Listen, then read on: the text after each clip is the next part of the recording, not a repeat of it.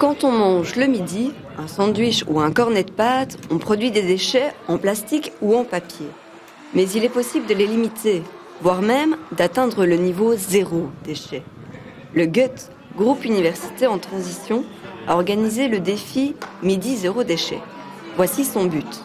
Donc euh, l'idée c'était de rassembler un maximum de personnes qui vont manger tout ensemble euh, sans emballage jetable.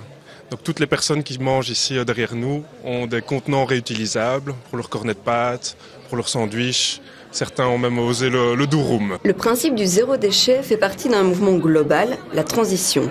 Ce sont des mouvements et des initiatives citoyennes qui se veulent plus proches de la Terre grâce à une consommation plus raisonnable. Le réseau Transition est une ASBL qui soutient ce type d'action en Belgique francophone et à Bruxelles, donc il y a une association qui s'appelle l'Association du réseau Transition, qui est là pour soutenir les différentes initiatives citoyennes euh, qui se créent en Belgique. Il y en a plus d'une centaine actuellement déjà, et ils les soutiennent à différents niveaux. Comme ici, par exemple, voilà, nous sommes aujourd'hui il y a une, une action zéro déchet au sein de l'université Namur. Eh bien, le, réseau Transition participe en donnant aussi donc toute une série de documentation sur la transition.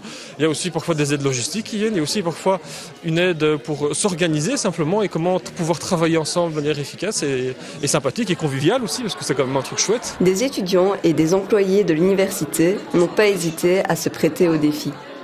Je trouve c'est important de, de développer l'idée qu'on n'est pas obligé d'utiliser des emballages tout le temps, tous les jours, dans tous nos repas euh, qu'on va chercher. C'est un peu pour montrer qu'il y a moyen de fonctionner autrement. Quoi. Les 80 participants au défi n'ont produit que peu de déchets, montrant ainsi l'alternative des contenants réutilisables.